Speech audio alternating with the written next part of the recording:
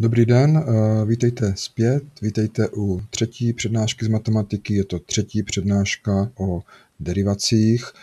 Dneska si řekneme nějaké závěrečné informace k tomu pojmu derivace a ukážeme si pár dalších nějakých pojmů, který třeba eh, ve své formulaci nepotřebují to slovíčko derivace, jsou na derivacích nezávislí, ale tak nějak logicky eh, sem k tomu diferenciálnímu počtu patří, protože se využívají při řešení problémů, ve kterých právě hrajou mimo jiné roli i derivace. První věc bude připomenutí pojmu parita sudálichá funkce ze střední školy, ta zhruba vyjadřuje to, že když mám nějaký uh, symetrický těleso vystavený nějakému symetrickému namáhání, třeba tady tento objekt, když bych měl eh, v peci pro tepelnou modifikaci, tak to stejné se tam děje, když uh, to tam položím takhle, když to tam položím takhle, když to tam položím takhle. Jo, ta úloha je určitým způsobem symetrická a to vnější působení taky symetrické, čili i Eh, to, co se bude eh, v tom vzorku dít, tak eh, bude symetrické a toho my určitým způsobem dokážeme využít, dokážeme to matematicky podchytit. Čili to bude první pojem parita, sudálichá funkce. Dál si ukážeme, jak se derivace dají využít k hledání toho, kde je nějaká funkce buď eh, maximální možná nebo minimální možná, to znamená, dokážeme třeba eh, maximalizovat eh, výnosy, minimalizovat náklady, minimalizovat ztráty, maximalizovat nějakou výtěžnost. Ukážeme si, že pomocí derivací je jednoduchý naformulovat nutnou podmínku pro body, kde Hmm, takový extrém nastává a potom si ukážeme i dostatečnou podmínku, aby jsme dokázali takové body lokalizovat i v případech, kdy třeba to není eh, z formulace toho eh, problému zcela zřejmé, jestli třeba nastává minimum nebo maximum. Eh, dál si ukážeme jednu takovou poučku, Eh, která má takový záhadný trošku název Buckinghamův P teorem. To je víceméně eh, rozměrová analýza a ta nám umožní, když eh, víme, jaké veličiny vlastně mají co mluvit při průběhu nějakého konkrétního problému a víme, v jakých fyzikálních jednotkách ty veličiny měříme, tak z toho už se dá odvodit celkem dost. V některých případech se z toho dá třeba odhadnout tvar funkční závislosti mezi těma veličinama. E, takový nejjednodušší případ, který si ukážeme, když se veličiny hm, dají dohromady skombinovat jediným možným způsobem, tak e, e, z toho odvodíme, jak zhruba vypadá ten fyzikální zákon, který ty veličiny v tom daném případě svazuje. Taky e, vlastně tímto postupem dojdeme k tomu, že spoustu fyzikálních zákonů je možno nějakým způsobem zredukovat, snížit množství veličin, které v těch zákonech vystupují zavedením bezrozměrných veličin. Proto se třeba dřevaři setkají při tepelném namáhání eh, dřevané třeba s klasickou teplotou, ale s bezrozměrnou teplotou. Měli jsme už biotovo číslo nebo třeba při proudění eh, hraje důležitou roli Reynoldsovo číslo, což je nějaký bezrozměrný parametr, do kterého vstupují eh, fyzikální veličiny vhodným způsobem, když tak si dejte do Wikipedie Reynoldsovo číslo, abyste se dozvěděli, eh, jak je definováno a podle toho, jaká hodnota toho Reynoldsova čísla vychází, tak usuzujeme, jestli proudění třeba je takové, že tam vznikají víry, anebo jestli je laminární. Eh, čili to je eh, čtvrtá věc, Buckinghamův teorem a pátá věc, rozšíříme si pojem derivace podle prostorové souřadnice i na případ, kdy pracujeme nejenom eh, v jednorozměrném případě, to znamená, že máme třeba tok tepla skrz stěnu, ale ve dvou nebo v trojrozměrném případě. To, znamená, že třeba máme proudění tepla v dvourozměrném nebo trojrozměrném materiálu. Tak eh, opakování a zdůrazňování základních principů není nikdy dost, tak já bych tady připomněl eh, slovní interpretaci derivace. Eh, když se bavíme s člověkem, který studuje třeba dřevo nebo podzemní vodu nebo tepelné ostrovy v krajinách ve městech, tak ten asi nebude používat slovo derivace, ale víceméně tak nějak implicitně to bude schovaný v nějakých slovních obratech.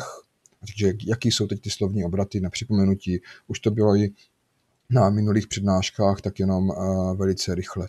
Tak derivace, tak jak je zavedená, tak je vlastně rychlost růstu, protože uh, některé veličiny nerostou, ale klesají, tak je možná uh, přesnější říkat rychlost změny, ale tady si teda představíme, že záporný růst je vlastně pokles. Nebo naopak pokles je záporný růst. Rychlost to je vlastně změna za jednotku času, čili taky místo rychlost růstu nebo rychlost změny veličiny můžu říct změna za jednotku času. Jo? A pořád teda tím mám na mysli derivaci.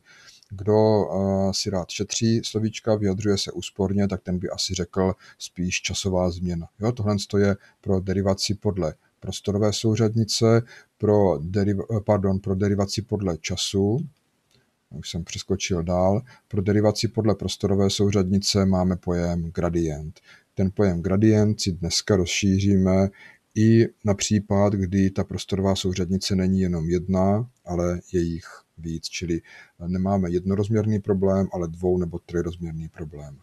A v minulém přednášce jsme se taky věnovali tomu, že ta derivace nějakým způsobem eh, vyjadřuje to, jak citlivě ta funkce reaguje na změny ve vstupních datech. A tady k tomuhle tomu je třeba taky věnovaná jedna eh, úloha v některé z těch sad eh, domácích úloh eh, obsahujících derivace.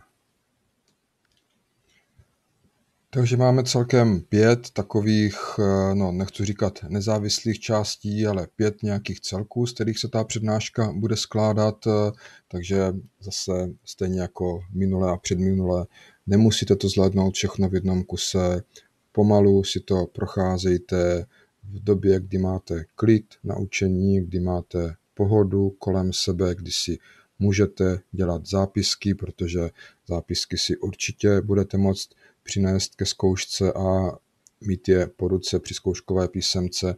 Udělejte si to prostě kolem sebe komfortní, ať se cítíte dobře. A my jako první, na co se podíváme, tak bude parita funkce.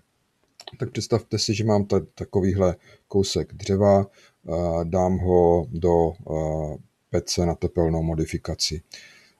Bylo by třeba pro mě výhodný si osu ve které, od které budu odměřovat eh, polohu bodů, abych tam dokázal zavést souřadnice, když si tu osu eh, budu vést tady prostředkem, protože tak, jak to vypadá směrem nahoru, tak úplně stejně to bude vypadat směrem dolů. Jo? Eh, kvůli tomu, že ta, takovýhle pootočení vlastně nesmí nic změnit. To znamená, že funkční hodnota, když by třeba ta osa odsud směřovala nahoru, od toho prostředka nahoru, tak tady je funkční hodnota v nějakým x a tady symetrický funkční hodnota v minus x. A ty funkční hodnoty musí být stejné. Takže budeme se zabývat tím, eh, které funkce mají tu vlastnost, že funkční hodnota v x je stejná jako v minus x. Třeba tu vlastnost má funkce cosinus, taky tu, funkci má, taky tu vlastnost má třeba uh, funkce, která je sudou mocninou. Tak tohle taky motivovalo asi ten název. Všechny funkce, které mají tuto vlastnost, tak se nazývají sudé funkce. A sudé funkce jsou třeba právě ty funkce, které se hodí pro popis, eh, když eh, máme tepelnou modifikaci dřeva nebo obecně nějakou symetrickou úlohu. Eh, volíme eh, počátek soustavy souřadnic uprostřed a eh, ta úloha je symetrická, čili stačí počítat od prostředka nahoru a od prostředka dolů už to vychází stejně. Někdy má taky smysl se bavit o situacích, že funkční hodnota v x a v minus x se liší znamínkem. Takové funkce jsou taky užitečné, taky si vysloužili vlastní název, říká se jim liché funkce. Geometricky je jednoduché poznat uh, sudou lichou funkci. Sudá funkce má graf osově symetrický podél svislé osy a lichá funkce má graf středově symetrický podle počátku souřadnic. Když eh, je funkce sudá nebo lichá, tak eh, tomu říkáme, že má paritu. A funkce, které nemají paritu, tak nejsou ani sudé, ani liché. Tady v tom rámečku je vlastně to, co jsem říkal o tom prostupu tepla. A tady je taková zajímavostka, která je fakt jako třeba jenom uh, zajímavostka. Teď to Eh, teď to eh, žádným způsobem nebudeme využívat, ale podobný trik si zapamatujme, eh, protože ho využijeme třeba později, když se budeme zabývat deformacemi, tak budeme stát před problémem oddělit složku působící síly, která způsobuje deformaci tělesa, od složky, která způsobuje třeba jenom jeho pootočení nebo posun. Tam se uh, využije uh, podobný trik jako tady, že když mám zadanou funkci, já si tu funkci můžu zapsat takov, v takovémhle tvaru. Někdo by řekl v takovým hodně obskurním tvaru. Jo, jako součet dvou takových divných zlomků, když ty zlomky sečtete, tak to f minus x se vyruší a to fx tam bude dvakrát a vydělený dvěma, čili opravdu ta rovnost platí. A co je zajímavé, tak tato funkce je sudá, tato funkce je lichá. To plyne okamžitě eh, z definice. Čili vlastně, když bychom ty sudé a liché funkce eh, prohlásili, jako že to jsou nějaké nám sympatické funkce, s kterými rádi pracujeme, tak jakoukoliv funkci dokážeme zapsat ve tvaru součtu těch dvou nám sympatických funkcí. To je taky častý obrat, který se v matematice využívá. U těch funkcí třeba ne, ale později to uvidíme v jiném kontextu. Aby jsme si ukázali třeba eh, nějaký konkrétní případ, tak funkce e na x, když se pro ní použije tady tato formule, tak dostaneme tady k rozdíl dvou zlomků. Eh, tento zlomek eh, se nazývá hyperbolický kosinus a tento zlomek hyperbolický sinus. Eh, jsou to funkce relativně často používané v technické praxi, třeba ten hyperbolický kosinus, proto, že on popisuje tvar volně visících řetízků nebo prověšených ohebných lán, které jsou prověšený vlivem gravitační síly. E, vlastně je to tvar, který zaujme volně vysící řetízek, tak proto se teda grafu funkce hyperbolický kosinus říká řetězovka. Označení hyperbolického kosinu je co z H a e, je to na běžné středoškolské kalkulačce. Takže to bylo paritě, vlastně takové opakování ze eh, střední školy, nebo spíš uvedení si toho, co ze střední školy známe, trošku do jiného kontextu. A teď první část vlastně té eh, přednášky, teď druhá část eh, lokální extrémy a nutná podmínka pro lokální extrémy. Co tím budeme rozumět? No, často se snažíme u funkcí, třeba tady u té modré, najít eh, body, které jsou níž nebo výš ne, ve srovnání s těmi okolními body. Tak uh, není to vůbec těžký, tady nás asi napadne, že ta funkce z začátku klesá, potom dál roste a tam, kde se ten pokles změnil na růst, tak tam je právě ten bod, který hledáme. No, tak ono to tak opravdu je, takže opravdu zatím není nic složitýho. Možná bych ještě uh, trošku pořádně nějak vysvětlil, uh, který body vlastně budeme hledat, co, čili co budeme rozumět pod pojmem lokální maximum a lokální minimum. Já to tady mám napsaný pro lokální maximum, ale pro lokální minimum je to totéž, jenom s opačnou nerovností. Řekneme, že v bodě x0 je lokální uh, maximum, když Eh, platí ta nerovnost, která je tady uvedená pro všechna x z nějakého okolí bodu x0. Jo, čili slovně bych to asi vyjádřil tak, že v okolí toho bodu x0 nenajdeme větší funkční hodnoty, než je ta funkční hodnota v tom bodě x0. Tady je nějaké okolí toho bodu x0 a všechny hodnoty jsou srovnatelné nebo menší. Podle toho, jestli jsou třeba jenom menší, nebo jestli tam jsou i nějaký srovnatelný, tak se ještě eh, rozlišují pojmy jako ostré nebo neostré lokální maximum, ale to je pro nás, eh, bych řekl, eh, nezajímavý.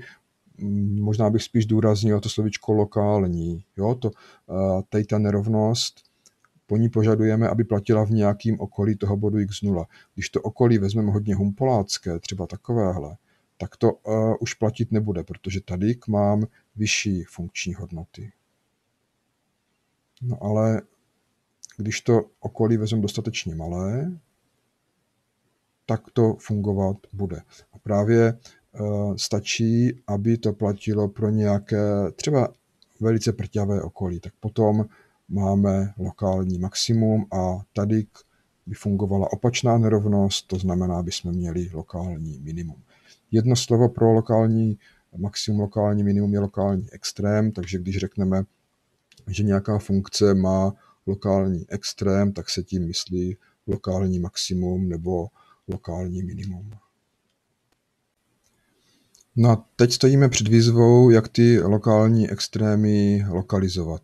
Hm, tak eh, není to vůbec těžký. Eh, následující věta ukazuje takzvaně nutnou podmínku pro lokální extrém, to znamená tam, kde ta podmínka není splněna, tak tam ten extrém určitě není.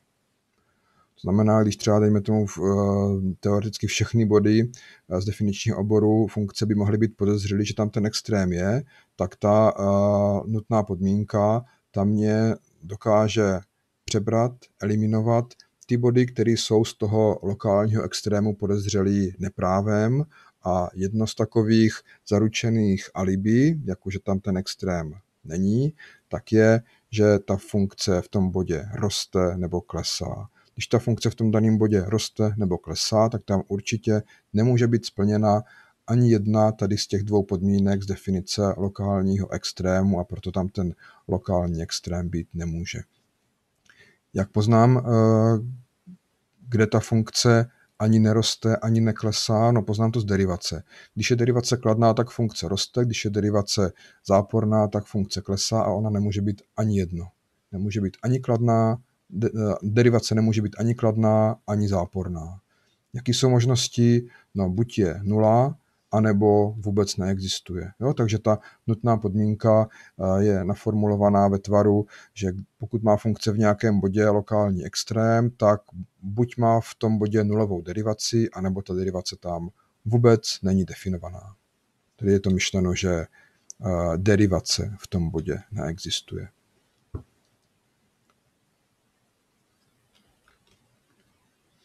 Eh, ta podmínka, že tam, kde je lokální extrém, ta funk, tak tam funkce uh, nemůže ani růst, ani klesat, tak ta už sama o sobě v mnoha případech stačí k nalezení lokálních extrémů. Pojďme se kouknout na třeba následující úlohu. Eh, z kulatiny chci vyřezat trám tak, aby tuhost toho trámu, to znamená odolnost vůči prohýbání, byla co největší. Tuhost eh, souvisí, když mám eh, trám obdelníkového průřezu, tak ta souvisí s rozměry, s výškou a s šířkou, ale eh, s každým tím rozměrem jinak, jo? protože když mám takovýhle nosník, dejme tomu, tak tímhle tím způsobem se to celkem dá deformovat, ale když zaměním výšku za šířku a naopak, tak teď už to je, teď už to nejde. Jo? Eh, jak tady tohle uh, vyřešit? No, budeme muset uh, si zase zavolat na pomoc fyziku. Jo? V matematice nemáme jak si na vzorečky, který nemáme jak přijít na vzorečky, které řídí tady tento proces. Takže podíváme se do fyziky a tam se dá najít v Eh, v kapitolách, které se týkají mechanických vlastností materiálu, že ta tuhost nebo deformace nějakým způsobem souvisí s veličinou, která, je, která v sobě obsahuje šířku a třetí mocninu výšky. A to tak, že čím je tady tato veličina větší, tak tím je ta tuhost větší a deformace při stejné působící síle menší. To znamená, když já chci mít eh, nosník, který se co nejméně prohýbá, tak musím mít co největší tady ten součin šířka krát třetí mocnina výšky. Eh, jak se rozměrovou analýzou dojde k tomu, že nějaký takovýhle vzoreček by měl platit, tak to si ukážeme za chviličku, až se budeme bavit o Buckinghamově P-teorému a pořádně se naučíme tady k, uh, tuto veličinu odvodit i s nějakou konstantou, která tam dál figuruje, která to násobí uh, až úplně na konci semestru, až uh, budeme probírat dvojný integrál. Tak pro teď to bereme jako fakt. Jasné, že nemůžeme ten nosník řezat extrémně úzký, protože eh, potom by ta šířka byla skoro nula a ten součin by byl celý skoro nula. Ani to nemůžeme uh, řezat moc placatý, protože zase výška by byla skoro nula a výška na třetí taky skoro nula a celý ten součin by byl zase skoro nula. Uh, takže Toto je věc, která nám spadla z hůry, z fyziky a my s tím dál budeme pracovat. Když máme ten nosník v řezu, to znamená tady tu kulatinu a z toho vyřezáváme ten trám, tak tam určitě bude eh, optimální řezat až ke krajům toho té kulatiny, to znamená, že v řezu to bude vypadat nějak takhle a tady bude pravouhlý trojuhelník s přeponou, která je průměr toho kmene, eh, odvěsny budou šířka a výška. Tak nenechte se poplést, že ta šířka je tady označená B, já to potom v té prezentaci opravím. Z Pythagorovy věty můžu buď to tu šířku spočítat pomocí výšky, anebo naopak výšku pomocí šířky, protože eh, ten eh, průměr toho kmene znám. To znamená, že zatímco tady jsou vlastně dvě proměné, tak ty proměny nejsou nezávislé a já klidně můžu třeba tu výšku, eh, pardon, tu šířku vyjádřit pomocí výšky a pomocí Pythagorovy věty a eh, převedu to na funkci jedné proměny. To D to je průřez toho kmene, to je parametr. Tak tohle to už se dá nasypat třeba do algoritmu, který mě spočítá derivací zjistí, kdy ta derivace není ani kladná, ani záporná, to znamená, kdy je nulová a pro který eh, případy to nastane. Já to tady dokonce mám i spočítaný, abych si to nemusel počítat uh, sám, tak jsem použil Sage a tady vidíte, že si nadefinuju uh, proměné, nadefinuju si tu funkci, kterou chci maximalizovat, tady spočítám derivaci, tady spočítám derivaci, vyřeším, pro které h se ta derivace rovná nule a celý to vytisknu. Jsou tady celkem tři řešení, ale dvě jsou nesmyslný, nula a záporná hodnota pro mě prakticky nemá smysl. To znamená, že zůstává tady toto řešení, že výška bude odmocněna ze 3 lomeno 2 krát průměr. Tak eh, odmocněna ze 3 lomeno 2 je, teď jsem si to na vedlejším monitoru spočítal, žádná celá 86, to znamená, že ten optimální nosník bude mít eh, výšku 86% eh, průměru. No tak je to fajn, ale já teda nechci zjišťovat, eh, jaký nosník bude optimální. Já si tady chci ukazovat nástroje, metody a chtěl bych na to přijít teda i eh, bez eh, pomocí počítačů, lidským tu vtipem, tak pochopitelně, že tak, jak to počítač zderihoval, tak já bych to taky dokázal zderihovat. Ale eh, člověk si vždycky představí, nedalo by se to nějakým způsobem eh, zjednodušit, nedalo by se ten můj život nějak zlepšit, abych to neměl eh, to počítání tak složitý. A ukážu vám dva triky. Ten první trik je vhodná volba jednotek. v jakých jednotkách měřit ty rozměry, tak můžu mít centimetry, milimetry, metry, můžu mít palce, můžu mít ještě nějaký uh, další jednotky. To záleží na mě. Úplně nejvýhodnější by bylo, kdyby jednotkou uh, délky, kterou tady v tomto příkladě budu používat, by byl průměr toho kmene, tady toto, protože potom vlastně tady to D by bylo rovno jedné a to znamená, že tady k tento trojúhelník by měl přeponu rovnu jedné a tady bych za to D dosadil jedničku a už bych měl funkci jedné proměny H a ta funkce by neměla parametr žádný. Tak to je jistě fajn, protože tady k, tato úloha je zajisté sympatičtější než tato úloha tou absenci toho parametru. Eh, ale pořád je to teda funkce, která je hnusná na derivování. Sice tam není parametr, ale je tam součin dvou funkcí. Tak fajn, součin jsme se naučili derivovat, není to nic příjemného, ale dá se to. Hm, tady je eh, první součinitel v tom součinu složená funkce. Odmocnina, to už je taky, taky na derivování celkem nepříjemný, protože to je mocnina na jednu polovinu a s tím se teda těžko pracuje, ale dalo by se. A pod mocninou je dvojčlen. Jo, čili ručně bych to pochopitelně zde, uh, dokázal zderivovat, ale já se snažím ukázat si triky, které mě eh, šetří práci. Tak a já tady využiju toho, že pracuju s nezápornými veličinami, že druhá mocnina je pro nezáporná x rostoucí funkce, parabola, a z ní vlastně vezmeme jenom tu uh, rostoucí půlku. A že druhá mocnina je inverzní k druhé odmocnině. Rostoucí funkce, tak jak jsme si je definovali, tak ty nepokazí nerovnost.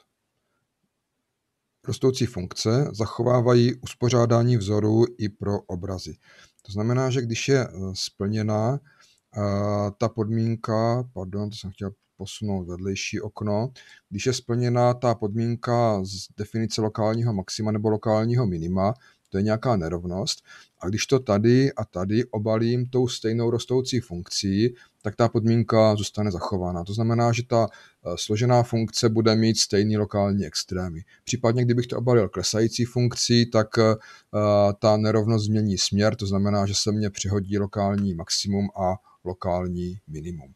Je to vlastně podobný třeba u té druhé mocniny, jak kdybyste porovnávali obsahy čtverců, tak, že porovnáte délky stran a ten čtverec, který má delší stranu, tak ten má i větší obsah. Tak to zní logicky, že jo? to není uh, nic, co by bylo proti uh, lidské přirozenosti a úplně stejně to funguje pro libovolnou rostoucí funkci, no musí, protože vlastně ty lokální extrémy jsou založeny na nerovnostech a rostoucí funkce se uh, s těmi nerovnostmi dokážou vypořádat tak, že je zachovají.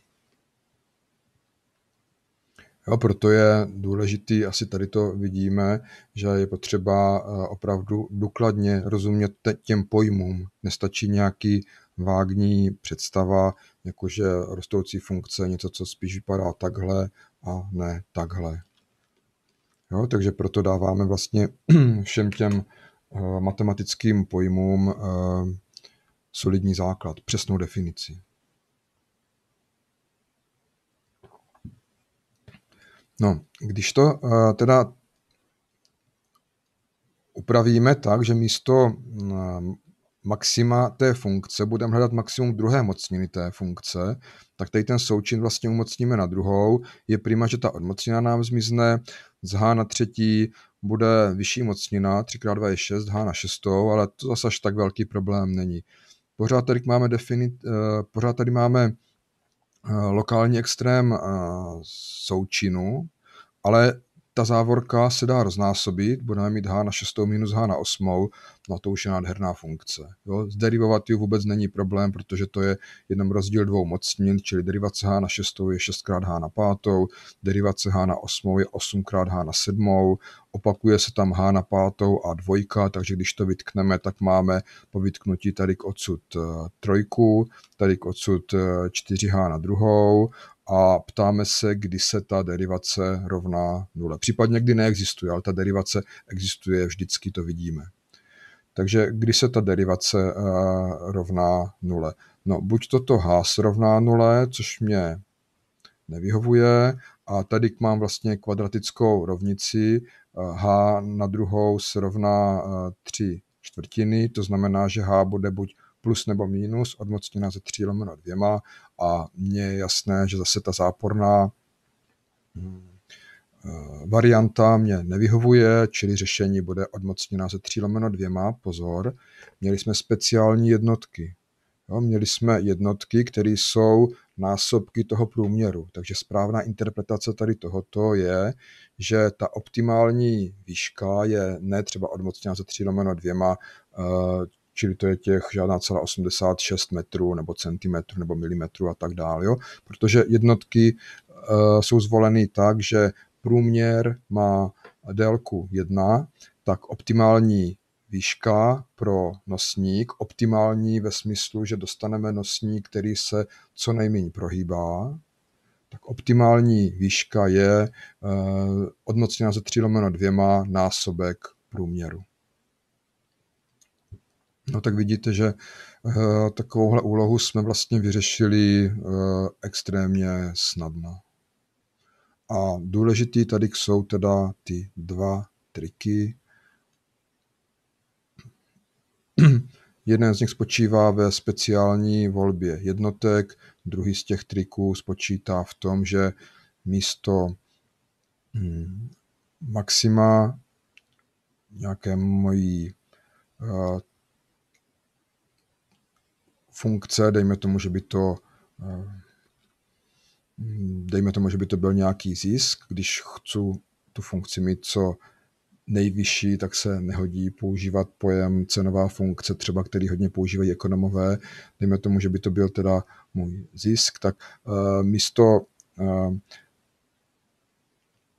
té funkce definující ten zisk a hledání jejího maxima budu hledat maximum druhé mocniny. Takže máme za sebou paritu, využití symetrie a nutnou podmínku pro lokální extrém. No a teď se podíváme na třetí e, část dnešní přednášky, postačující podmínku pro lokální extrém. Nebo pokud e, potřebujete si udělat e, pauzu, žádný problém, vraťte se k videu, jakmile budete mít zase chuť na další studium. A pro ty, kteří pořád ještě mají síly na další studium, tak si představíme, co dělat v případě, že situace třeba je méně přehledná než v tom předchozím případě, kdy nám vlastně ze všech podezřelých, kde by mohl nastat lokální extrém, zůstal jenom jeden bod.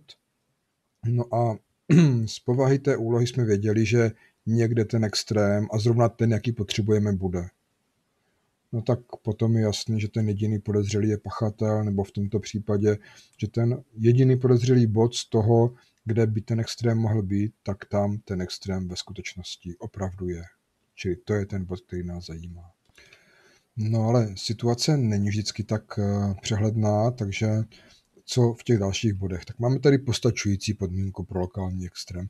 Stačí, aby ta podmínka byla splněna a potom už s jistotou dokážeme říct, že tam ten extrém je a jaký.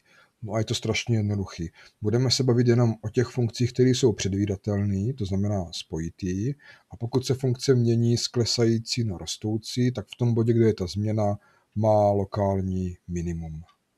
A pokud se funkce mění uh, z rostoucí na klesající, takto, tak v tom bodě, kde došlo, došlo k té změně, má lokální maximum. Ještě jednou, za, před, za předpokladu spojitosti. A jak rozšifruju ten růst, klesání, no je to jednoduché z derivace. Jo, nezapomeňme, kladná derivace znamená rostoucí funkce, záporná derivace, klesající funkce. Jak teď oddělím teda intervaly, kde ta funkce roste a kde klesá? No na to máme úžasnou věc, univerzální větu, Bolzánovu větu, která platí nejenom pro derivace, ale pro libovolné funkce a dokáže nám oddělit intervaly, kde nějaká funkce má kladné znamenko a kde má záporné znamenko.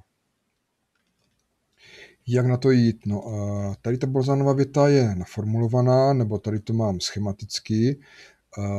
Když máme funkci, která je spojitá a platí takováhle nerovnost, ta vyjadřuje to, že funkční hodnota v bodě A a funkční hodnota v bodě B se liší znamínkem. Jo, jedině v tom případě je ten součin menší než nula.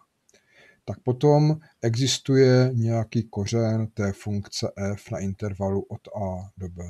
Jinými slovy, když je funkce spojitá na intervalu a b a má změnit znamínko, tak protne osu x. Nebo ještě jinak, libovolná funkce může změnit znamínko jedině tak, že protne osu x, anebo že nejsou splněny ty předpoklady Bolzánovy věty. To znamená, že uh, změní v bodě nespojitosti skokem nějakým, ať už konečným nebo nekonečným. Tohle je důležitý, protože potom vám u uh, funkce stačí najít body, kde ta funkce je uh, nespojitá, body, kde ta funkce je nulová a těch bodů bývá málo, konečný počet, dejme tomu třeba 5, tak tím se uh, reálná osa rozpadne na 6 podintervalů a v každém tom podintervalu má ta funkce pořád stejný znamínko. No tak stačí vzít libovolného reprezentanta, dosadit do té funkce a máme hned jasno, jestli je tam ta funkce nad osou nebo pod osou. A my to nebudeme dělat pro funkci, my to budeme dělat pro derivaci. Díky tomu zjistíme, kde ta funkce má kladnou, kde má zápornou derivaci, to znamená, kde roste, kde klesá a tam, kde se mění monotonie, tak tam podle té postačující podmínky bude lokální extrém. A z obrázku, jestli to vypadá spíš takhle nebo spíš takhle, poznáme maximum, minimum. Takže pojďme na to. Ukázkové příklady tady jsou dva. Zadáme tu funkci včetně derivace, aby to bylo jednoduché, aby jsme se soustředili přímo na věc, jo? aby jsme se nemuseli soustředit na výpočet derivace, ale přímo na analýzu eh, té monotonie. První funkce eh, x lomeno x na druhou plus 1 má derivaci takovou, že ten jmenovatel je druhá mocnina, to znamená pořád kladný, na ten se ani nemusím dívat.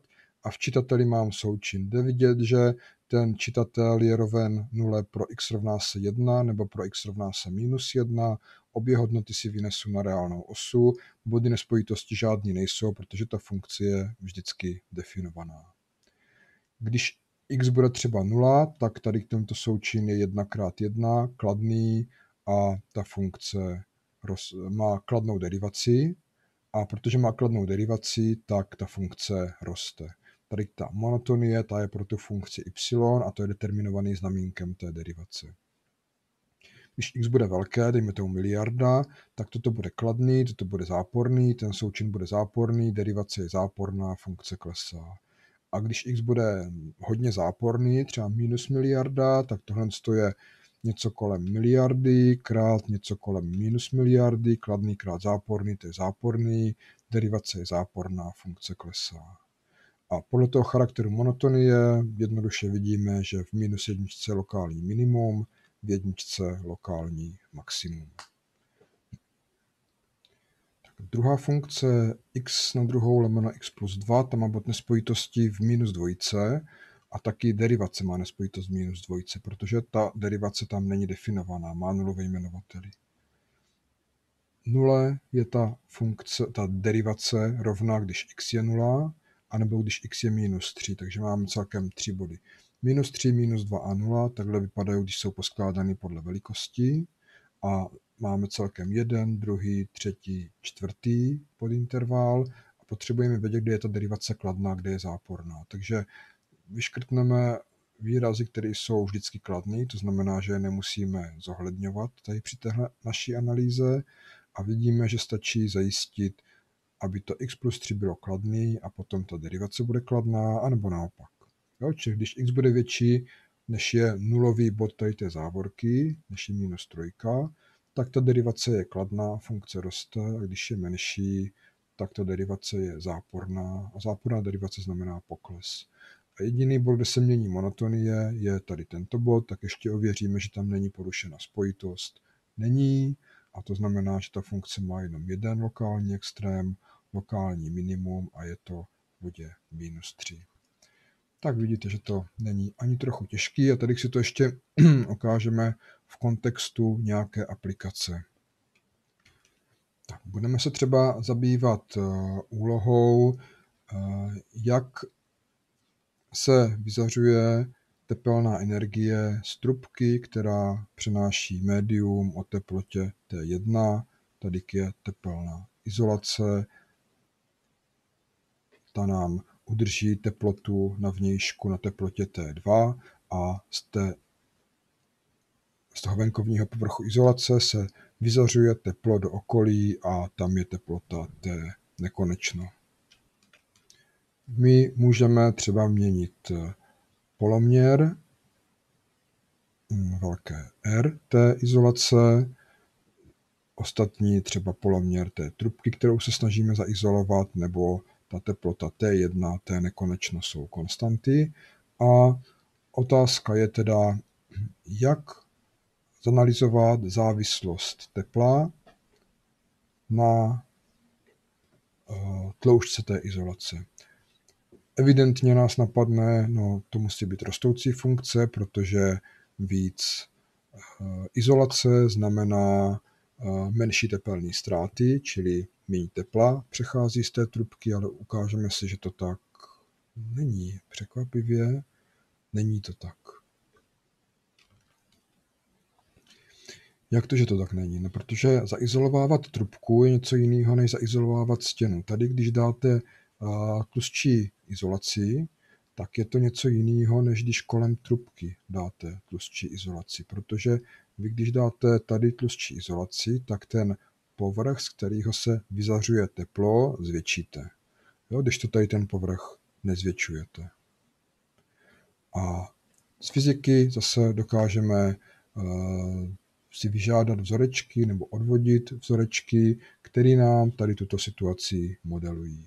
Třeba to, že rychlost, s jakou klesá teplota v prostoru, to znamená gradient teploty, mě determinuje tok.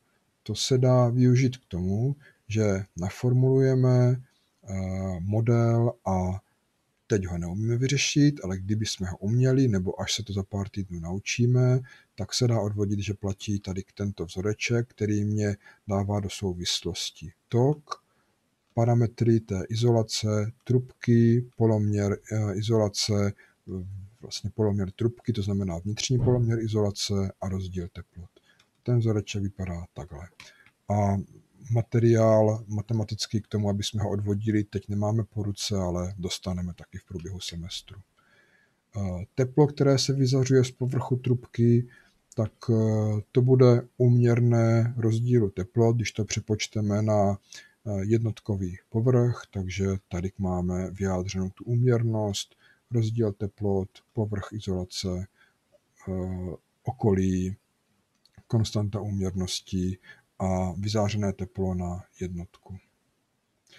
No a když bychom se chtěli nějakým způsobem tady zbavit té eh, teploty T2, tak stačí tady vydělit tím Eh, to, tím parametrem H, to je koeficient přestupu tepla, jak to teplo přestupuje vlastně z jedné, eh, z jedné vrstvy do druhé, nebo jo, jak to teplo přestupuje z jedné vrstvy do druhé, jak to teplo přestupuje z té izolace ven do okolí.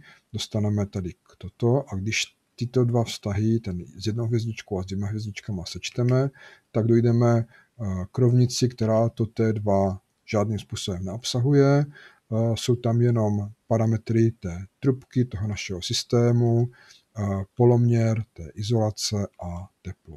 A my bychom chtěli, aby to teplo bylo možná co nej, nejmenší, no tak dejme tomu. A nebo chtěli bychom vidět, jaká, jak vypadá závislost toho tepla na tom poloměru izolace, na tom velkým R. No, takže si to teplo vyjádříme. To znamená, že tady touto závorkou vydělíme a tady tímto vynásobíme a máme to teplo jako funkci proměné R a ta proměna je jenom ve jmenovateli, tak bychom mohli zanalizovat ten jmenovatel jenom. Jo? A když bude ten jmenovatel maximální, tak ten podíl bude minimální a naopak. Jo? Takže se nám ty lokální extrém vlastně prohodí. To protože funkce 1 lomeno x je pro kladná x klesající a my víme, že klesající funkce mění směr nerovnosti. Takže stačí se zabývat tím jmenovatelem. Tak si ten jmenovatel nachystejme, ještě použijeme vzoreček, že logaritmus podílu je rozdíl logaritmů, jeden logaritmus minus druhý logaritmus, je to násobený obojitím 1 lomeno k, tak mám už rovnou roznásobenou závorku a 1 lomeno r je vlastně r na minus první. Když tady toto zderivujeme podle r, tak tady žádné velké r není, to znamená, že to je konstanta, derivace toho je nula, to se neuplatní. Tady máme konstantní násobek 1 lomeno k, derivace logaritmu je 1 lomeno ten argument, tady je konstantní násobek 1 lomeno h, derivace r na minus první podle vzorečku pro derivaci mocněné funkce je minus 1 krát r na minus druhou. Klasicky to je proměna umocněná na číslo, čili to číslo se dá dopředu jako konstantní násobek a zmenší o jedničku. Když to převedeme na společný jmenovatel, k krát h krát r na druhou, tak dostaneme nakonec tady toto. Tohle je derivace toho tepla, nebo vlastně ne, derivace toho jmenovatele podle R. Když uh, tu derivaci položíme rovno nule, tak to bude rovno nule pro k lomeno h. Jo, pochopitelně máme uh, přirozený předpoklad, že nalevo od uh, poloměru trubky nic není. A když to mm, R bude velké, tak tady ten čitatel bude kladný, jmenovatel je taky kladný, čili když to R je velké, tak derivace je kladná a funkce roste. To znamená, ten jmenovatel roste.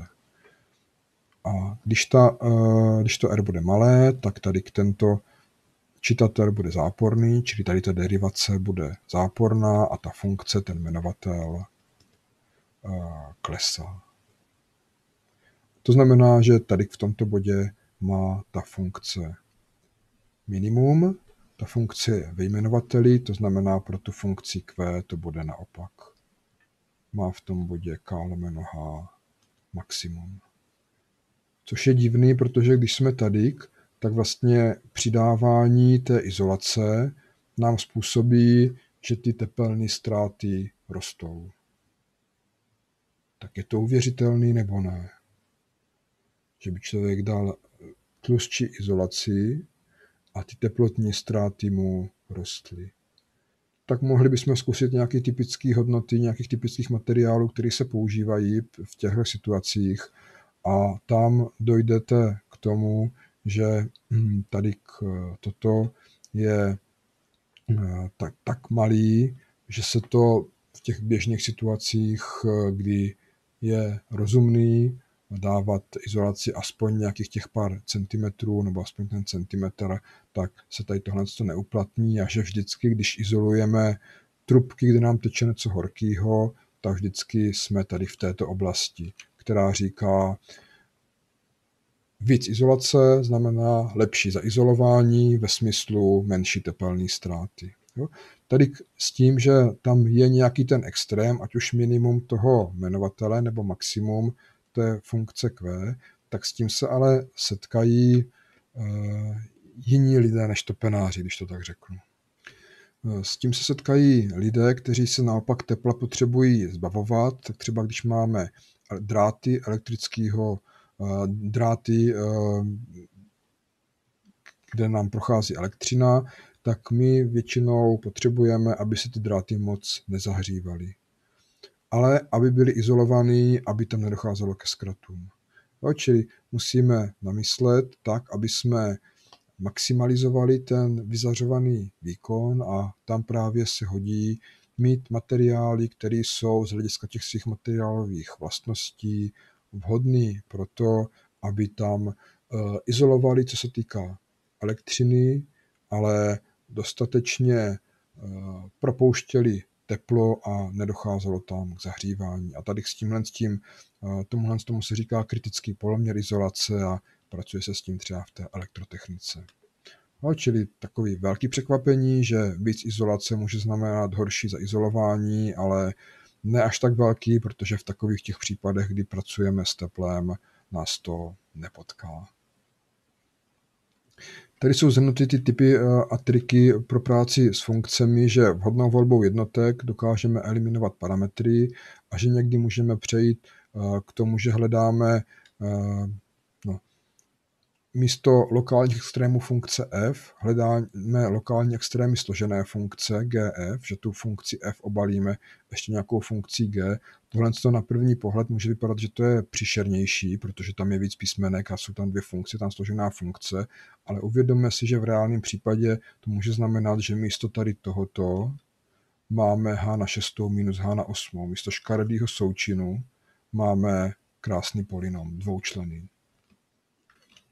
A pojďme se teď eh, od eh, práci s funkcemi eh, podívat trošku do jiné oblasti. Představím Buckinghamův P teorem. To je taková zajímavá věc. Je to postup nebo myšlenka, která nám říká, že analýzou fyzikálních veličin těch parametrů, které jsou důležitý pro nějaký konkrétní problém, dokážu buď zredukovat eh, složitost eh, fyzikálních vzorečků, který používám pro popis toho problému, zavedením nějakých bezrozměrných parametrů. A někdy dokážu dokonce odhadnout tvar závislostí mezi těmi fyzikálními veličinami a někdy dokážu dokonce uhodnout celou tu závislost. Jeden z takových husarských kousků souvisí tady s tím obrázkem, který tu mám, testovací výbuch první atomové bomby. No, za přísného utajování energie, která se uvolnila, byla také přísně tajná, ale tak, aby bylo nějaké PR, tak se zveřejnily uh, fotky uh, v časopise a na základě analýzy, která spočívá v tom Buckinghamově pi teorému a na základě tady těch veřejně publikovaných fotek se povedlo odhadnout přísně tajnou informaci, jaká energie se uvolnila při výbuchu té bomby. Koho ten příběh zajímá, je to velice zajímavý čtení a dobře ehm, zpracovaný v literatuře, tak se můžete kouknout třeba tady na ten odkaz, který mám v prezentaci. Pro nás by to bylo jenom třeba takový nalákání. Hmm. On ten uh, vzorec, který, uh, na kterým to je založeno, nebo ta věta, ten teorem, na kterým to je založeno, je celkem teda dost uh, takový obecný a čtenáři asi zamotá hlavu. Když mám nějaké veličiny, které vstupují do nějakého fyzikálního zákona a existuje vzoreček, ať už ve formě, že nějaká veličina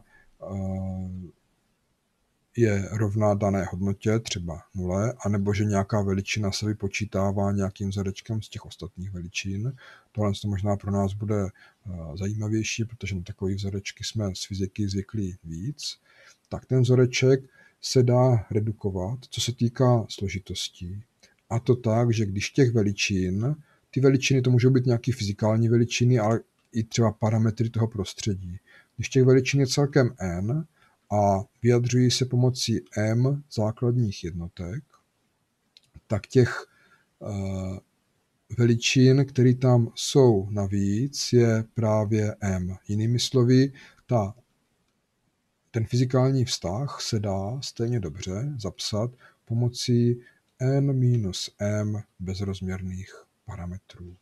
Čili Eh, místo toho, aby jsme tady na té pravé straně, když vyjadřujeme jednu eh, veličinu, měli celkem n-1 veličin, tak tady těch veličin je míň. Ale jsou to nějaký no, bezrozměrný parametry, nějaký veličin, na který je komplikovanější si sáhnout. Jo, není to třeba délka, není to třeba objem, ale mohl by to být třeba objem vydělený třetí mocninou délky. No, asi by to chtělo teda nějaký příklad, který by nás přesvědčil, že tady toto je užitečný a který, který by nás naučil tady s tímto pracovat. Tak, myslím si, že hmm, takový to, když se s tím dá nejsnás pracovat, je v případě, že to n a m se liší o jedničku. Čili uh, m plus 1 bude n. Že těch proměných mám o jednu víc, než je jednotek. Protože potom tady už vlastně nic nezbude, bude jenom jeden bezrozměrný parametr a mám, že pi1 se rovná nějaké funkci, ale bez proměných, to znamená, že se rovná nějaké konstantě.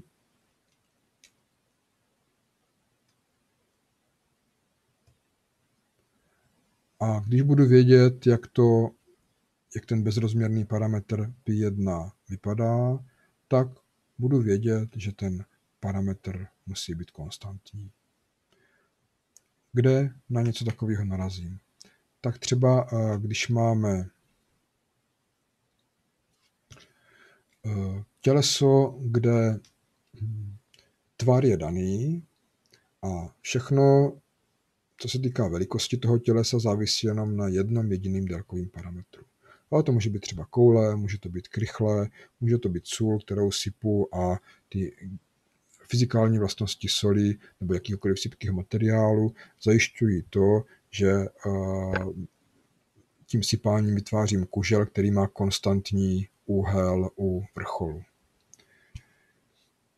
Tady vlastně z toho jednoho délkového parametru mám jednoznačně determinovaný objem, mám jednoznačně determinovaný povrch. Čili třeba objem a poloměr koule. To jsou dvě veličiny. Tato se udává v metrech krychlových, tato se udává v metrech, to znamená, všechno to jsou mocniny metr, jedna základní jednotka. Dvě veličiny, jedna jednotka. Existuje jenom jediná varianta, jak tady z tohoto udělat něco, co je bez jednotky. Že ten objem vydělím třetí mocninou eh, délky. No, ono těch variant vlastně existuje víc, taky můžu druhou mocninu vydělit šestou mocninou délky, nebo můžu třetí mocninu délky vydělit hm, objemem, ale všechno to vede na tady tento bezrozměrný parametr anebo nějaký jeho mocniny. A to znamená, že tohle by byl nějaký ten bezrozměrný parametr a ten musí být roven konstantě. No a z toho hned máme, že objem je 4, eh, pardon, že objem je uměrný eh, třetí mocnině poloměru. Podobně se je jediná možnost, jak dát dohromady eh, povrch a délku, tak aby to vyšlo bez jednotek. Musím, da, musím dělit povrch a druhou mocninu délky. A vychází z toho hned, že pro tyhle ty tělesa Povrch musí být uměrný druhé mocnině délky. Taky už eh, z dřívějška známe slovní interpretaci těch konstant. To K1 to by byl objem, kdy, když by to bylo třeba pro kouli a to R by byl poloměr koule, tak objem koule, která má jednotkový poloměr. To K2 to by byl obsah koule, která má jednotkový poloměr. No a podobně dokážu třeba najít i vztah mezi objemem a povrchem. Jasně, můžu vzít, že objem je 4 třetiny πr na třetí, obsah je 4 πr na druhou a s tama ten vztah nějakým způsobem vykouzlím, ale, nebo vypočítám teda, aby byl přesnější. Ale mně jde o to eh, k tomu dospět co nejjednodušší cestou. A tady ta cesta bude jednoduchá, když si uvědomím, že jediná možnost, jak dát do souladu jednotky eh, objemu a povrchu je, že z těch jednotek povrchu udělám jednotky délky, čili z těch metrů čtverečních druhou mocninou udělám metry a třetí mocninou to spravím na uh, metry krychlový. Ten, ta bezrozměrná veličina by tady byla třeba objem lomeno obsah na tři poloviny. A hned vidím, že existuje konstanta k, taková, no k3, taková, že objem je k3 krát s na tři poloviny a slovní interpretace té konstanty K3, to je taky jednoduchý, tak to by bylo, že to je objem koule, která má povrch roven 1. No, podobně, když potřebuju přepočítat objem na povrch, tak povrch bude úměrný té správné mocní objemu, tady to je mocnina, která z metru krychlových udělá metry čtvereční a hm, ta konstanta uměrnosti, čili dvě třetiny, a ta konstanta uměrnosti to bude povrch, třeba když to bude pro kouli, tak povrch koule, která má objem roven 1. Tohle se dá třeba využít u hm, analýzy nosníků. E, sice jsme se o nosnících ještě neučili, protože nemáme dostatek matematického aparátu, aby jsme to dokázali dešifrovat, ale dá se ukázat, že e, tuhost toho nosníku, tak ta je daná fyzikální veličinou, která se nazývá e, kvadratický moment průřezu a udává se v metrech na čtvrtou. Když máme nosník, který eh, je takový, že jeho průřez je jednoparametrický, to znamená, je to třeba čtverec nebo je to kruh, tak tam platí, že je jeden délkový parametr. Třeba tady strana čtverce, tady by to byl poloměr kruhu, nebo třeba průměr kruhu. Čili mám kvadratický moment průřezu, průměr, tohle je v metrech na čtvrtou, tohle je v metrech a jediná možnost, jak z toho sestavit eh, bezrozměrný parametr je z těch metrů udělat čtvrtou moctinou metry na čtvrtou a vydělit to.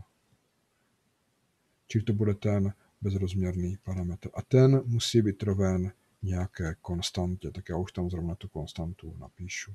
Když to vynásobím tím d na čtvrtou, tak máme, že třeba pro ten kruhový nosník veličina, která mě udává odolnost vůči průhybu, bude uměrná čtvrté mocnině průměru nebo čtvrté mocnině poloměru, to je v celku jedno.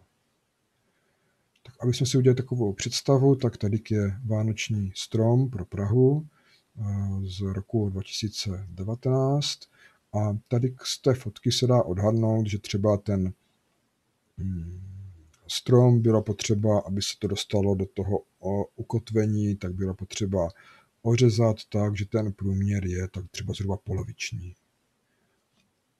No a otázka je, jak moc se tomu stromu ublížilo, co se týká pevnosti.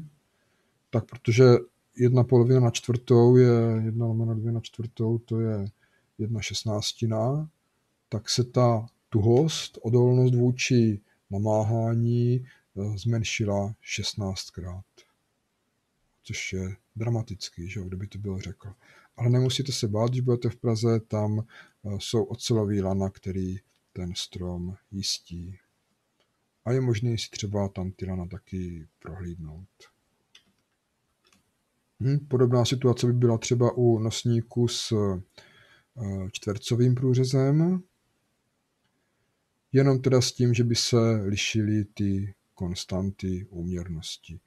Ale co je třeba zajímavý, tak pro tuhost nosníku s obdélníkovým průřezem, který je takhle, tak už to vlastně fungovat nebude, protože já tady mám dva délkové parametry,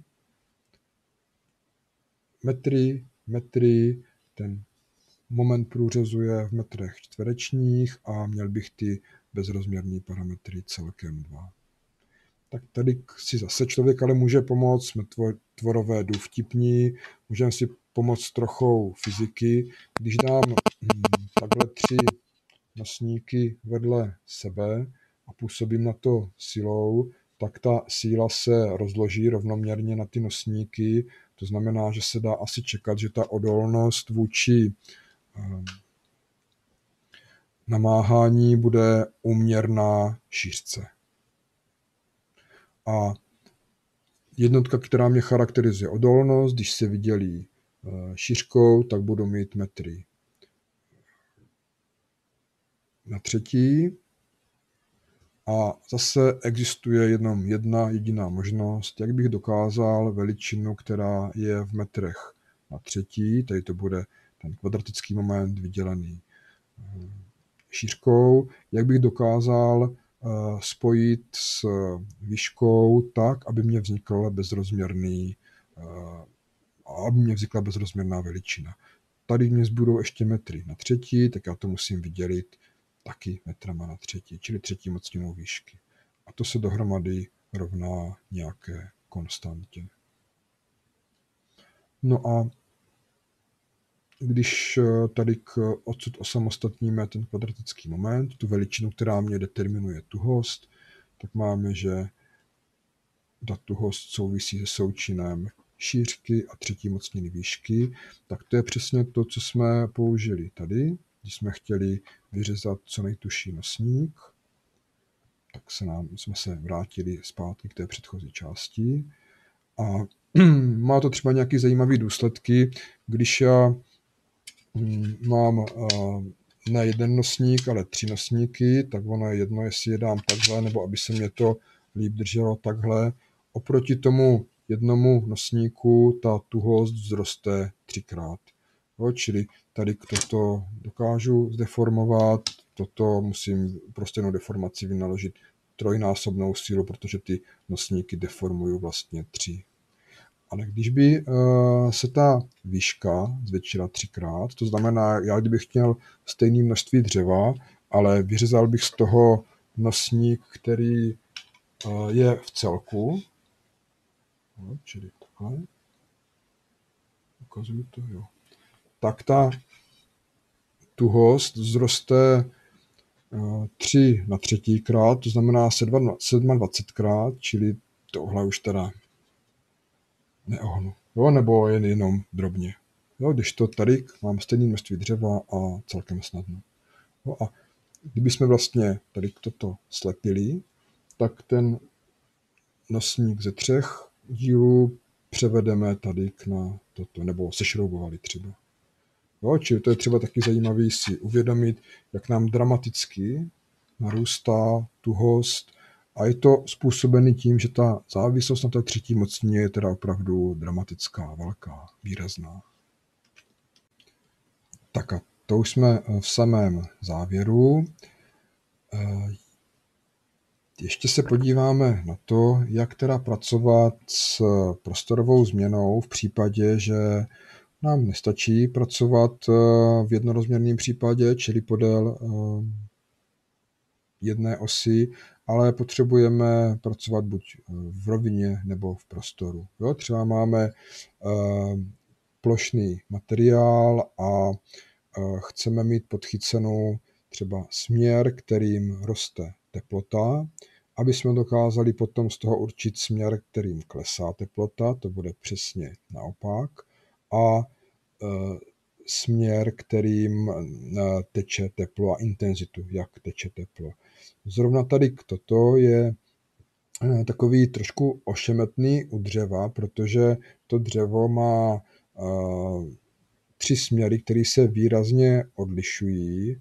A můžete si představit třeba, že tohle je nějaký hnací podnět a dejme tomu, by to mohl být podnět, který mě dává do pohybu teplo, to znamená směr eh, poklesu teploty. A to teplo teď ale má tendenci se stáčet do podélného směru. Jo, je to třeba, jak kdyby uh, foukal vítr na město tímto směrem a dali byste mu uh, do cesty město, kde jsou všechny ulice tímhle tím směrem. Tak ten vítr by se trošičku stáčel. Přesně tímhle tím způsobem se stáčí tok tepla nebo tok vlhkosti ve dřevě. Přesně tímhle tím způsobem se stáčí tok podzemní vody eh, v půdě. Tam je to ještě složitější, protože u podzemní vody nevidíme v půdě tak pěkně Eh, většinou teda nevidíme tak pěkně tu kresbu toho dřeva, o které bychom se dokázali orientovat, eh, jaké jsou ty význačné směry, ale taky to tam matematicky najdeme a dokážeme zpracovávat. No a jediný, co my si teda dneska chceme tady k této záležitosti říct, je, jak teda najdu ten vektor, který mě udává třeba ten maximální spát teploty, to znamená ten hnací faktor. Jak se to potom projeví v tom materiálu, na to si musíme pár týdnů počkat, ale aspoň ten začátek, ten se nám bude hodit, protože to se uvede do souvislostí nějaký pojmy, do který, který my budeme do té doby potřebovat. Takže uh, ukážu to v dvou dimenzích, čili to by odpovídalo nějakému tomu plošnému materiálu, ale úplně stejně se to dělá ve třech dimenzích. Představme si, že budeme mít třeba teplotu, která bude záviset na dvou proměných, tady x, uh, x a tady svisle y. Tak já si můžu určit, jak rychle se mění ta teplota v jednom směru, v tom vodorovném, jak rychle se mění ta teplota v tom svislém směru a můžu z toho sestavit vektor. Ukazuje se, že ten vektor eh, je kolmý na izotermii, kdybych eh, opravdu se bavil o té teplotě a tady bych termokamerou vyfotil, hm, jak to bude vypadat, tak bych měl rozdělení teploty v tom plošném materiálu, dokázal bych tam spoj, nadefinovat křivky, které spojují místa se stejnou teplotou, izotermii a tady ten vektor, ten bude kolmý na ty izotermii a bude mě vlastně udávat, jaká, jaký teplotní nárůst tam připadá na jednu jednotku délky. Čili takový vektor je určitě velice užitečný a nazývá se gradient, označuje se tady tímto způsobem. E, někdy se to formálně dá chápat jako, že to je součin tady tohoto vektoru a skalární funkce f, protože když se násobí vektor se skalárem, tak se násobí každá komponenta a tady toto a toto vlastně můžeme chápat v, určitým, v určitých uvozovkách jako násobení, tak někdy se teda odtrhne vlastně tady k tento symbol od té funkce a říká se mu Hamiltonův operátor. Označuje se tím trojuhelníčkem, řeckým písmenkem delta otočeným na špičku.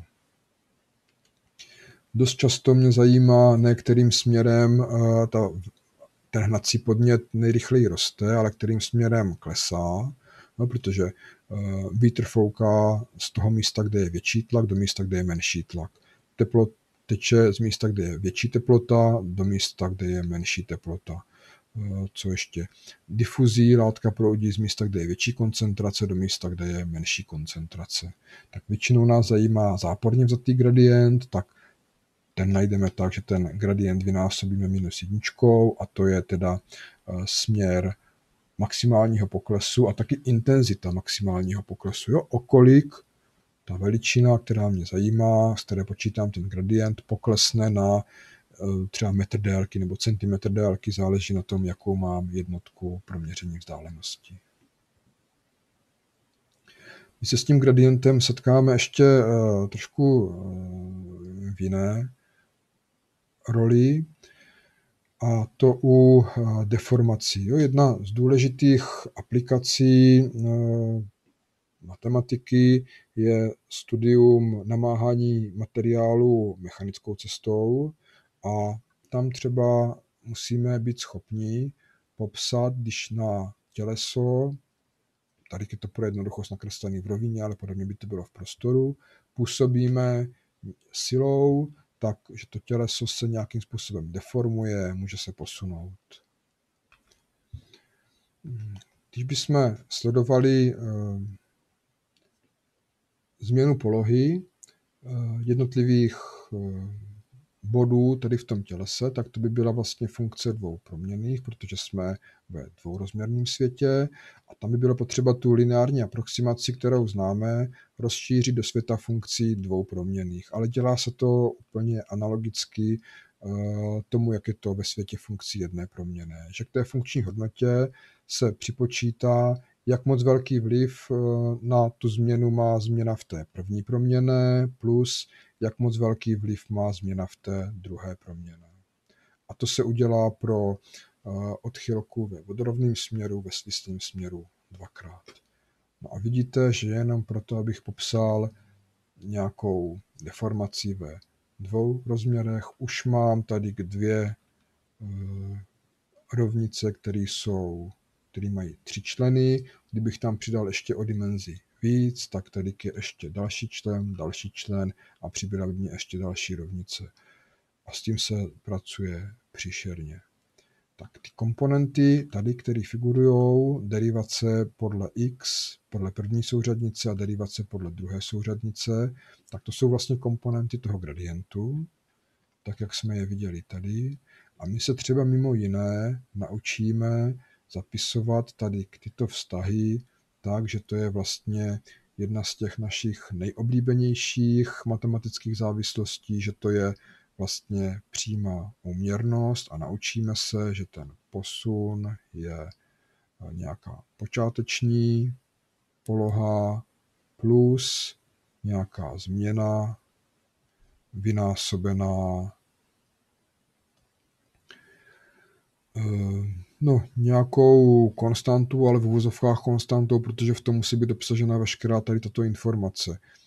Eh, ještě jinak řečeno, Teď si na chvilku od derivací odpočneme, protože se budeme soustředit na opak derivace, na integrály, ale potom se vrátíme eh, i mimo jiné tady do této problematiky a naučíme se, jak když máme něco ve dvou, nebo ve třech, nebo i ve více dimenzích, když máme hnusné soustavy rovnic, tak jak je zapisovat úsporně tak, že to je jenom jedna rovnice, ale zaplatíme za to daň.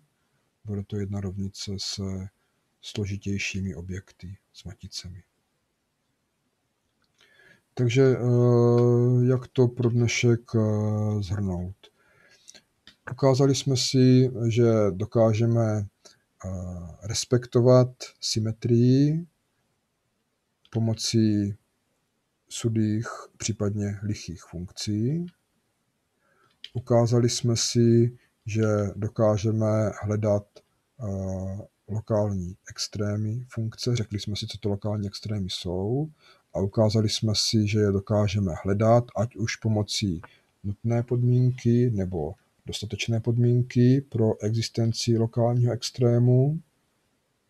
Ta nutná se hodí pro spoustu eh, situací, zejména slovních úloh a vyjadřuje to, že tam, kde je lokální extrém, tak tam ta funkce neroste ani neklesá a když máme tu úlohu bez kontextu anebo v nějakým složitějším kontextu, tak ještě musíme přidat ověření toho, jestli ta funkce se mění spojitě s rostoucí na klesající nebo s klesající na rostoucí. Ukázali jsme si, že eh, dokážeme redukovat složitost fyzikálních vzorců eh, pomocí Buckinghamova P teorému, pomocí zavedení bezrozměrných veličin. V eh, nauce o dřevě se setkáte s bezrozměrným časem, s bezrozměrnou vzdáleností, tam to uvidíte jak na běžícím pásu. Krajináři zase při studiu proudění vody se setkají s Reynoldsovým číslem, v jiném kontextu s Freudovým číslem. Bude toho hodně a všechno to stojí tady na téhle té obecné větě. A my jsme si mimo jiné ukázali, že bez nějakého hlubšího eh, počítání se dá třeba eh, ukázat, že když bychom strom brali jako eh, homogenní nosník, a ořezali průměr na půlku, takže 16krát zhoršíme mechanické vlastnosti. Ono teda na okraji je jiný dřevo než uprostřed, takže ono to nebude přesně 16krát, ale to už jsou zase nefyzikální dřevařské záležitosti, tomu věřím, rozumíte líp než já. A na závěr jsme si řekli, že si pomocí derivací, pomocí tentokrát derivací funkce víc proměných, dokážeme sáhnout na to, že umíme najít vektor, který mě charakterizuje buď maximální růst nebo maximální pokles nějaké veličiny, veličiny, která mě zajímá a e, tohle to budeme využívat při studiu transportních jevů, jako je vedení tepla. Vedení tepla jsme už měli, ale v jedné dimenzi. Jo? Čili nás čeká uh, posun toho, té rovnice vedení tepla do vícedimenzionálního prostoru. Jo? Potom je tam třeba transport vody v dřevě, to znamená sušení dřeva, nebo transport energie ve dřevě, to znamená ohřev, nějaká tepelná modifikace dřeva, proudění podzemní vody, proudění mělké vody, No, vidíte, že toho je spousta, co nás ještě čeká, ale těšíme se, protože vidíme, že ta matematika není počítání příkladů, ale že to je nástroj, který nám umožní si nějakým způsobem sáhnout, přesně namodelovat to, co se děje kolem mě, abych tomu třeba líp porozuměl. Abych si třeba ověřil, jestli moje hypotéza o fungování světa, o fungování toho systému je správná. A nebo k tomu, abych dokázal předpovídat, co bude. Třeba i předpovídat počasí, protože gradient tlaku vzduchu nám dává do pohybu vítr. Tak já vám přeju, ať se vám daří studium i matematiky, i ostatních předmětů. No a se všemi zájemci o čtvrtou přednášku z matematiky se sejdeme příště.